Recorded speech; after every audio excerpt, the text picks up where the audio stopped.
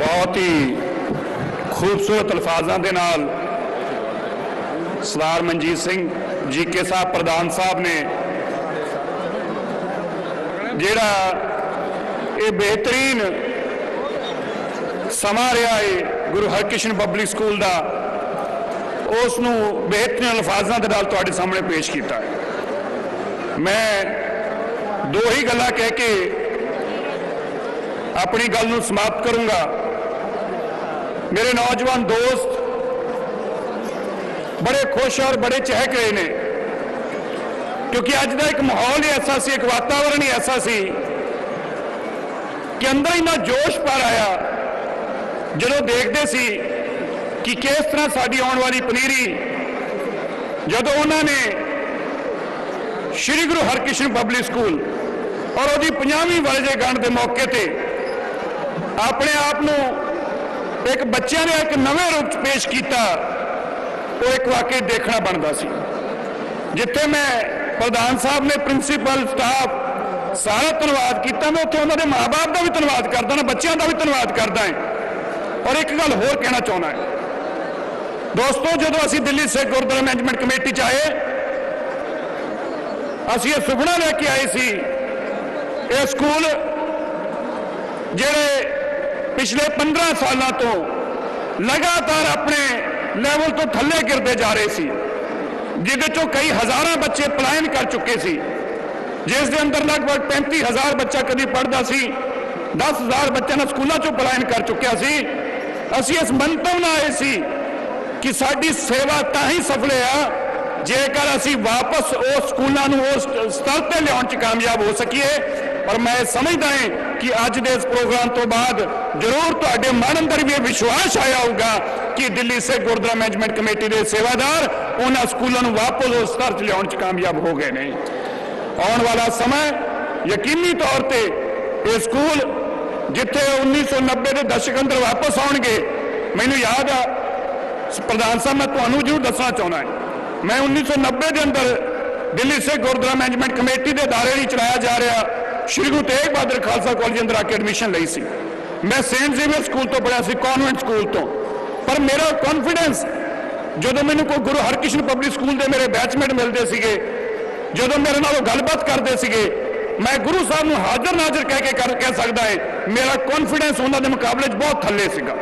ਮੈਂ ਸਮਝਦਾ ਸੀ ਔਰ ਜਦੋਂ ਕਹਿੰਦੇ ਸੀ ਕਿ ਮੈਂ Guru Harkrishan public school India gate ਤੋਂ ਪੜ੍ਹਿਆ ਹੈ ਮੈਂ ਗੁਰੂ ਹਰਕ੍ਰਿਸ਼ਨ ਪਬਲਿਕ ਸਕੂਲ ਵਸੰਤ ਤੋਂ ਪੜ੍ਹਿਆ ਹੈ ਤੇ ਮੈਨੂੰ ਇਹ ਜਾਪਦਾ ਸੀਗਾ ਕਿ ਕਿਤੇ ਨਾ ਕਿਤੇ ਮੇਰੀ ਸਿੱਖਿਆ ਦੇ ਅੰਦਰ ਕਿਤੇ ਨਾ ਕਿਤੇ ਮੈਂ ਬਹੁਤ ਪਿੱਛੇ ਰਹਿ ਗਿਆ ਹੈ ਮੈਂ ਸੇਂਟ ਜ਼ੇਵੀਅਰ ਸਕੂਲ ਤੋਂ ਤਾਂ ਪੜ੍ਹਿਆ ਹੈ ਪਰ ਕਾਸ਼ ਮੈਨੂੰ ਐਸਾ ਮੌਕਾ ਮਿਲਿਆ ਹੁੰਦਾ ਕਿ ਮੈਂ ਗੁਰੂ ਹਰਕ੍ਰਿਸ਼ਨ ਪਬਲਿਕ ਸਕੂਲ ਤੋਂ ਪੜ੍ਹਿਆ ਹੁੰਦਾ ਮੈਂ ਤੁਹਾਨੂੰ ਯਕੀਨ ਦਿਵਾਉਣਾ ਹੈ ਇਹ ਸਾਡੀ ਸਾਰੀ ਦਿੱਲੀ ਸਿੱਖ ਗੁਰਦੁਆਰਾ ਮੈਨੇਜਮੈਂਟ ਕਮੇਟੀ ਦੀ ਸਾਰੀ ਟੀਮ ਆ ਇਹ ਸਾਰੀ ਇਕਜੁੱਟ ਹੋ ਕੇ ਤਨੋ ਮਨੋ ਕੇਵਲ ਇੱਕ ਮੰਤਵ ਲੈ ਕੇ ਚੱਲੀ ਆ ਕਿ ਅਸੀਂ ਵਾਪਸ ਉਸ ਸੁਪਨੇ ਨੂੰ ਸਾਕਾਰ ਕਰਾਂਗੇ ਜਿਹੜਾ ਸੁਪਨਾ ਇਹ ਬੱਚਿਆਂ ਦਾ ਟੁੱਟ ਗਿਆ ਸੀ।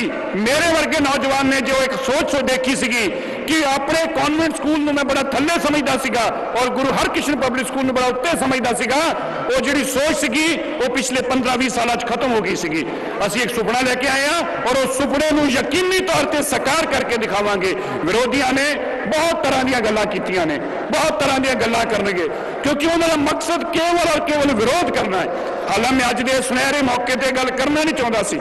ਪਰ ਫਿਰ ਵੀ ਤੁਹਾਡੇ 'ਚ ਇੱਕ ਇੱਕ ਨਾ ਮਾਤਰ, ਇੱਕ ਤਨ ਮਾਤਰ ਤੁਹਾਡੀ ਜਾਣਕਾਰੀ 'ਚ ਇੱਕ ਗੱਲ ਪਾਉਣਾ ਚਾਹੁੰਦਾ ਅਸੀਂ ਜੋ ਮਰਜ਼ੀ ਕਰਦੇ ਰਹੀਏ, ਚਾਹੇ ਬਾਬਾ ਬੰਦਾ ਸਿੰਘ ਜੀ ਬਹਾਦਰ ਦੀ ਉਹ ਯਾਦਗਾਰ ਜਿਹੜੀ ਕੌਮ ਭੁਲਾ ਚੁੱਕੀ ਸੀਗੀ, ਉਹਨੂੰ ਪੁਰਜੀਵਿਤ ਕਰਨ ਦਾ ਕੰਮ ਕਰ ਰਿਹਾ ਦਿੱਲੀ ਸਿੱਖ ਗੁਰਦੁਆਰਾ ਮੈਨੇਜਮੈਂਟ ਕਮੇਟੀ। ਚਾਹੇ ਲਾਲ ਕਿਲੇ ਦੇ ਉੱਤੇ ਜਾ ਕੇ ਜਿਹੜਾ ਸਿੱਖ ਕੌਮ ਦਾ ਸੁਨਹਿਰੀ ਇਤਿਹਾਸ ਸੀਗਾ ਜਿਸ ਨੂੰ ਸਾਡੀ ਕੌਮ ਬਿਲਕੁਲ, ਸਾਡੀ ਕੌਮ ਕੀ ਪੂਰਾ ਹਿੰਦੁਸਤਾਨ ਉਸ ਇਤਿਹਾਸ ਨੂੰ ਭੁਲਾ ਚੁੱਕਿਆ ਸੀਗਾ। ਉਸ ਨੂੰ ਵਾਪਸ ਪੁਰਜੀਵਿਤ ਕਰਨ ਦਾ ਕੰਮ ਕੀਤਾ ਦਿੱਲੀ ਸਿੱਖ ਗੁਰਦੁਆਰਾ ਮੈਨੇਜਮੈਂਟ ਕਮੇਟੀ ਨੇ। ਕੌਮ ਨੂੰ ਮਾਣ ਹੋਇਆ। ਦੇਸ਼ਾਂ ਵਿਦੇਸ਼ਾਂ ਚ ਲੋਕਾਂ ਨੇ ਫੋਨ ਕਰਕੇ ਕਿਹਾ, ਸਾਨੂੰ ਪਤਾ ਹੀ ਨਹੀਂ ਸੀ। ਇਸ ਲਾਲ ਕਿਲੇ ਦੇ ਉੱਤੇ ਕਦੀ ਬਾਬਾ ਬਗੇਲ ਸਿੰਘ, ਬਾਬਾ ਜੱਸਾ ਸਿੰਘ ਆਲੂਵਾਲੀ ਔਰ ਬਾਬਾ ਜੱਸਾ ਸਿੰਘ ਰਾਮਗੜੀਆ ਨੇ ਵੀ ਕਦੀ ਆਪਣਾ ਪਰਚਮ ਲਹਿਰਾਇਆ ਸੀ। ਕਦੀ ਕੇਸਰੀ ਨਿਸ਼ਾਨ ਝੂਲੇ ਸੀ ਇਸ ਲਾਲ ਕਿਲੇ ਦੇ ਉੱਤੇ? ਉਸ ਨੂੰ ਵਾਪਸ ਪੁਰਜੀਵਿਤ ਕੀਤਾ। ਇਸੇ ਤਰ੍ਹਾਂ ਬਾਬਾ ਬੰਦਾ ਸਿੰਘ ਬਹਾਦਰ ਜੀ ਦੀ ਯਾਦਗਾਰ ਵਾਪਸ ਲੈ ਕੇ ਦਿੱਲੀ ਦੇ ਅੰਦਰ ਉਸ ਸੁਨਹਿਰੇ ਇਤਿਹਾਸ ਨੂੰ ਵਾਪਸ ਪੁਰਜੀਵਿਤ ਕਰ ਰਹੇ ਹਾਂ। ਔਰ ਇਸੇ ਤਰੀਕੇ ਅੱਜ ਇਸ ਪੰਜਾਬੀ ਯਾਦਗਾਰ ਨੂੰ ਮਨਾ ਕੇ, ਇਸ ਸਵਰੇਗੰਠ ਨੂੰ ਮਨਾ ਕੇ ਇਹਨਾਂ ਸਕੂਲਾਂ ਨੂੰ ਵੀ ਪੁਰਜੀਵਿਤ ਕਰਨ ਦਾ ਕੰਮ ਕਰ ਰਹੇ ਹਾਂ। ਹਾਲਾ ਸਾਨੂੰ ਪਤਾ ਹੈ ਇਹਨਾਂ ਸਾਰੀਆਂ ਗੱਲਾਂ ਦੇ ਬਾਵਜੂਦ ਸਾਡੇ ਗਲਾਂ ਦੇ ਅੰਦਰ ਸਿਹਰਿਆਂ ਦੀ ਬਜਾਏ ਪੈਣੀਆਂ ਫੇਰ ਉਹੀ ਮਾੜੀਆਂ ਗੱਲਾਂ ਨੇ। ਪਰ ਫਿਰ ਗੱਲ ਇਹ ਆ, ਜ਼ਿੰਮੇਵਾਰੀ ਤੁਸੀਂ ਸਾਨੂੰ ਦਿੱਤੀ ਆ ਭਾਵੇਂ ਮਾੜੀਆਂ ਸੁਣਨੀਆਂ ਪੈਣ, ਅਸੀਂ ਵੀ ਇੱਕ ਨਡੋਲ ਹੋ ਕੇ ਗੁਰੂ ਦੇ ਸੱਚੇ ਸਿੰਘ ਵਜੋਂ ਇਸ ਸੇਵਾ ਨੂੰ ਇਮਾਨਦਾਰੀ ਨਾਲ ਨਿਭਾਉਂਦੇ ਰਹਾਂਗੇ, ਤੁਹਾਡੇ ਨਾਲ ਵਾਅਦਾ ਕਰਦੇ ਆ ਔਰ ਅੱਜ ਮੈਨੂੰ ਬੜੀ ਖੁਸ਼ੀ ਆ ਕਿ ਸਾਰੇ ਦਿੱਲੀ ਸੇ ਗੁਰਦੁਆਰਾ ਮੈਨੇਜਮੈਂਟ ਕਮੇਟੀ ਦੇ ਨੌਜਵਾਨ ਚਿਹਰੇ ਤੁਹਾਡੇ ਸਾਹਮਣੇ ਖੜੇ ਨੇ।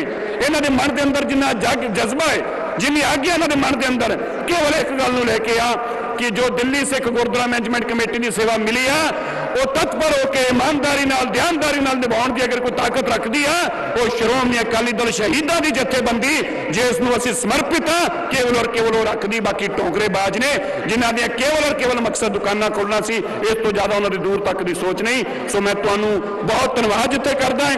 ਤੁਹਾਡੇ ਅੱਗੇ ਨਤਮਸਤਕ ਹਾਂ ਕਿ ਤੁਸੀਂ ਆਪਣਾ ਇਹਨਾਂ ਕੀਮਤੀ ਸਮਾਂ ਕੱਢ ਕੇ ਹਜ਼ਾਰਾਂ ਦੀ ਗਿਣਤੀ ਅੰਦਰ, ਮੈਂ ਆਪਣੀ 25 ਸਾਲ ਹੋ ਗਏ ਮੈਨੂੰ ਇਸ ਦਿੱਲੀ ਦੇ ਅੰਦਰ ਆਇਆ।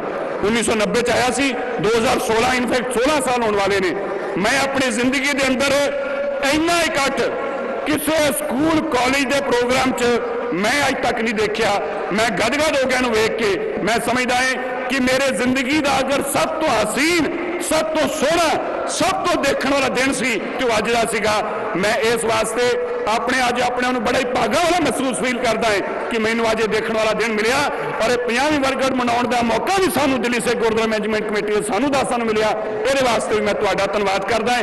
ਗੁਰੂ ਸਾਹਿਬ ਦਾ, ਗੁਰੂ ਹਰਕ੍ਰਿਸ਼ਨ ਸਾਹਿਬ ਮਹਾਰਾਜ ਜੀ ਦਾ ਵੀ ਧੰਨਵਾਦ ਕਰਦੇ ਹਾਂ ਕਿ ਉਸ ਮਾਲਕ ਨੇ ਇਹ ਚੋਲੀ ਸਾਡੇ ਖੈਰ ਪਾਈ ਆ, ਇਹ ਸੇਵਾ ਸਾਡੇ ਹਿੱਸੇ ਆਈ ਆ। ਬਹੁਤ ਬਹੁਤ ਤੁਹਾਡਾ ਸਾਰਿਆਂ ਦਾ ਧੰਨਵਾਦ। ਮੇਰੇ ਟੀਚਰ ਸਾਹਿਬਾਨਾਂ ਦਾ, ਸਾਰੇ ਸਟਾਫ ਦਾ ਪ੍ਰਿੰਸੀਪਲ ਸਾਹਿਬਾਨਾਂ ਦਾ ਡਾਇਰੈਕਟਰ ਸਾਹਿਬ ਦਾ, ਸਾਡੇ ਚੇਅਰਮੈਨ ਸਾਹਿਬ ਦਾ ਔਰ ਬੱਚਿਆਂ ਦਾ, ਬੱਚਿਆਂ ਦੇ ਮਾਂ ਮਾਪੇ ਦਾ ਮੈਂ ਸਾਰਿਆਂ ਦਾ ਦਿਲ ਦੀਆਂ ਗਹਿਰਾਈਆਂ ਚੋਂ ਬਹੁਤ ਬਹੁਤ ਧੰਨਵਾਦ ਕਰਦਾ। ਸਾਡੇ ਸਾਰੇ ਮੈਂਬਰ ਸਾਹਿਬਾਨਾਂ ਦਾ ਆਪ ਸਾਰਿਆਂ ਦਾ ਬਹੁਤ ਬਹੁਤ ਧੰਨਵਾਦ। ਇੱਕ ਵਾਰ ਜ਼ੋਰ ਨਾਲ ਜੋ ਫਤਿਹ ਦਾ ਜਵਾਬ ਫਤਿਹ ਨਾਲ ਦਿਓ ਜੇ ਤਾਂ ਕਿ ਅੱਜ ਦਾ ਜਿਹੜਾ ਪ੍ਰੋਗਰਾਮ ਆ ਉਹਦੀ ਸਫਲਤਾ ਜਿਹੜੀ ਤੁਹਾਡੀ ਆਵਾਜ਼ ਤੋਂ ਤੁਹਾਡੇ ਜਜ਼ਬੇ ਤੋਂ ਚੱਲਣੀ ਚਾਹੀਦੀ ਆ। ਬਹੁਤ ਬਹੁਤ ਧੰਨਵਾਦ। ਵਾਹਿਗੁਰੂ ਜੀ ਕਾ ਖਾਲਸਾ। ਵਾਹਿਗੁਰੂ ਜੀ ਕੀ ਫਤਿਹ। Thank you sir